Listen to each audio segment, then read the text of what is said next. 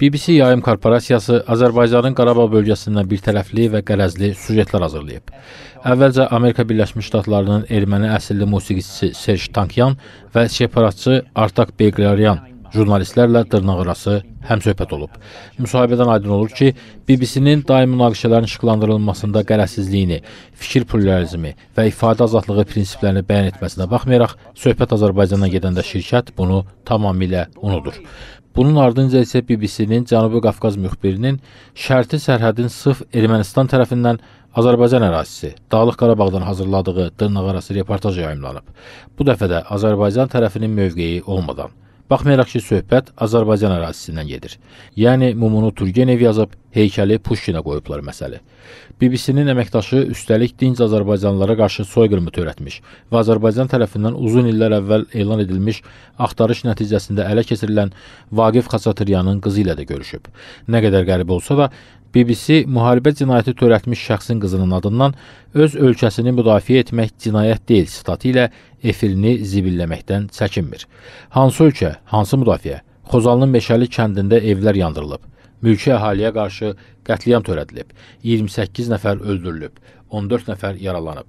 Meşəlinin əhalisindən 358 nəfər məcburi köçkü düşüb. Kənd özü məhv edilib. BBC-nin haqq qazandırmağa çalışdığı əməl budur.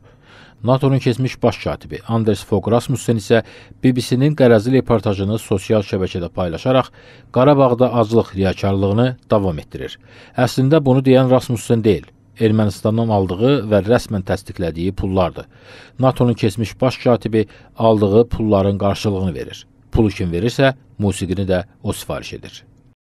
NATO-nun keçmiş baş katibi Rasmussenin xidmətlərindən Ermənistan hökuməti elə bil muzlu kimi istifadə edir. Bu xidmətin konkret qiyməti var. Rasmussen müqavilə bağlamaq üçün bir müddət əvvəl Ermənistana gəlmişdi. Onu gətirmişdilər.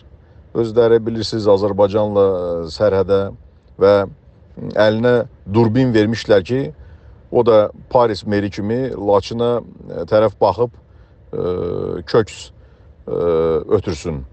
Həmin səfər zamanı Azərbaycan mediası Rasmussenin pulluq pullu xidmətlərinin ə, qiymətinin dərc etmişlər. İndi o dəqiq yadıma deyil, amma var bu məlumat. Bütün pullu xidmətlər kimi Rasmussenin gördüyü iş də ə, maliyyəyə bağlıdır. Pul verirlər, deyirlər bu yalanı danış. Nə olsun ki, NATO-nun baş katibi olmusan ümumiyyətcə, heç belə burada sual deyil. Bu yolla hər kəs bu reallıq onsuz da bilir ki, Ermənistan həmişə dəstək olubdu. İndi bizə qəribə gəlir nəyə görə Rasmussen bu dediklərini NATO-ya rəhbərlik edəndə demirdi. Çünki NATO ərazi bütövlüyü prinsipinin prinsipini yaxşı anlayırlar. Rasmussen isə indi pula müqabil nə lazım olsa edir və deyir. Bir daha qaydaq BBC-nin elədiklərinə. Bunun bir adı var. Jurnalistika prinsiplərinə sayğısızlıq, sivil media dəyərlərinə təhqir. BBC və onun Azərbaycan xidməti bu prinsip və dəyərləri ayaq altına atır. Qarabağdakı separatçılardan qalma tör töküntülərə tribuna verir.